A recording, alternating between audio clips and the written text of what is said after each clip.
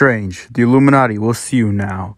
And it consists of me, Captain Carter, Mr. Fantastic, Tom Cruise, I mean Superior Iron Man, Gamora, a Screamer, Mickey Mouse, Chief Mamatis, I don't even know what that is, Black Captain America, Senor Araña, the Demogorgon, Three Puggy Boys, Mentally Depressed, Sad, Drunken Version of Spider Man, Khonshu, Pixel, Mighty Thor, King T'Challa, Infinity Ultron, the Spider Man with the worst ratings on Rotten Tomatoes, Leonardo, Moon Knight, Mr. Knight, Dog Pound, Benthomar, Wong, Throg, Toxy Studios, Twin Boys, King Kalmar, Cowboy Spider Man, Deadpool, Zombie Captain America, Croaky,